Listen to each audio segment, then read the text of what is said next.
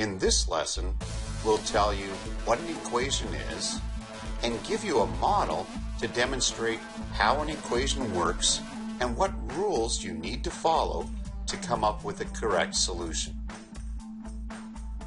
An equation is two algebraic expressions that are set equal to one another.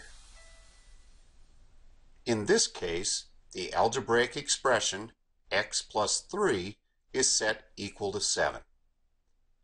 The model we'll be using to demonstrate how an equation works is a scale.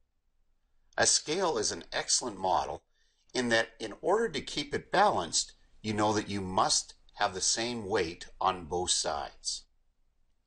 If a scale is to be our model, then we need to come up with a system of measurements or weights that represent algebraic expressions.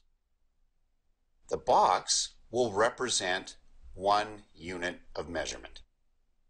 A rectangular box will represent x units of measurement, which will be our unknown in our equations.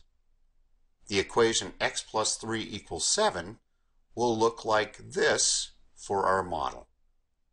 Now we're ready to solve this equation for x.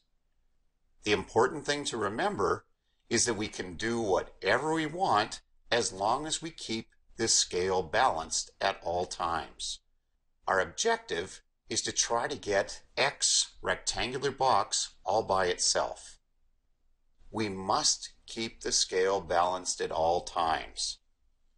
So I can remove one block from the left side, I must remove one block from the right side as well. Notice if I remove all three blocks from the left-hand side, that leaves me with just that rectangular X box all by itself. Now we know that X must equal 4. Remember, the overriding rule in solving an equation is that you must do the same thing to both sides. Let's try another example. See if you can set this up using our model. We'll begin with our scale. We need to have three x's and four ones.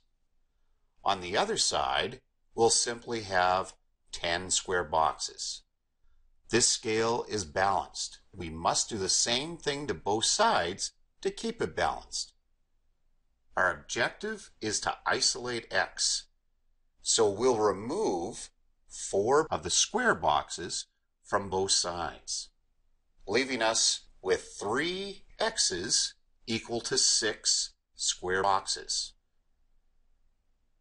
We want to figure out what one rectangular box is equal to. If we divide it up into three, we know that each rectangular box must equal two square boxes. So our answer is x equals 2. The main rule for solving equations is you must do the same thing to both sides. If you follow this rule, you'll never get an equation wrong.